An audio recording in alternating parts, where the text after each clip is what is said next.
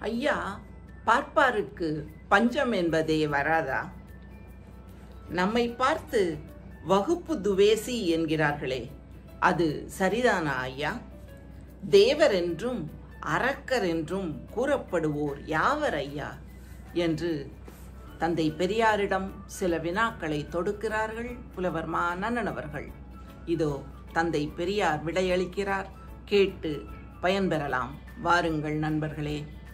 சில ஆண்டுகளுக்கு முன் பஞ்சத்தின் போது கஞ்சி தொட்டி வைத்து கஞ்சி ஊற்றினார்களே. அங்கு மற்ற எல்லா சாதியினரும் வந்தனர். ஆனால் இந்த பார்ப்பான் ஒருவனாவது வந்தானா?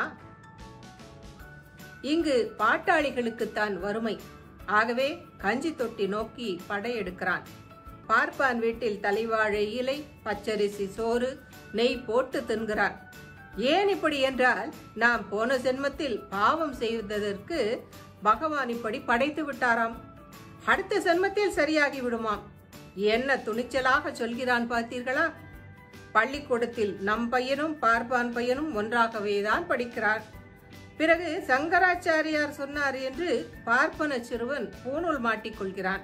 பூணூல் போடுவதற்கு முன் சமமாக பழகியவன் பூணூல் போட்ட பிறகு நெருங்கினால் தீட்டு என்று ஒதுங்குகிறான்.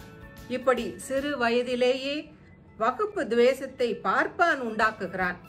இது கூடாது எனும் நம்மை வகுப்பு துவேசி என்கிறானே எவ்வளவு பித்தலாட்டம் பார்த்தீர்களா? இப்போது பூதேவர் என்று கூறிக்கொள்ளும் பார்ப்பனர்கள்தான் அக்காலத்தில் தேவர்கள் முனிவர்கள் என்ற பெயர்களை வைத்திருந்தனர். நம் திராவிட மக்களைத்தான் ராட்சதர்கள் அரக்கர்கள் என்று பெயரிட்டு அழைத்தார்கள் என்று விளக்கி இருக்கிறார்கள் தந்தை பெரியார் அவர்கள்.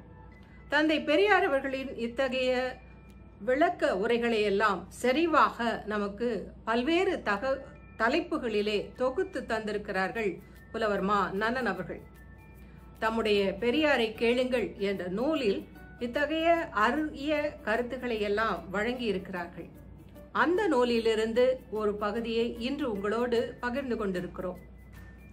இந்த கருத்துக்களை பற்றி தாங்கள் என்ன நினைக்கிறீர்கள் என்பதை கருத்துரை பகுதியில் பதிவிட்டு இப்பதிவுகள் மேம்பட உதவுங்கள் என்று அன்புடன் வேண்டுகிறோம். மானமும் அறிவும் மனிதருக்கு அழகு. மனிதனை மனிதனாக்குவோம் என்று உறுதியேற்போம். நன்றி. மீண்டும் சந்திக்கலாம்.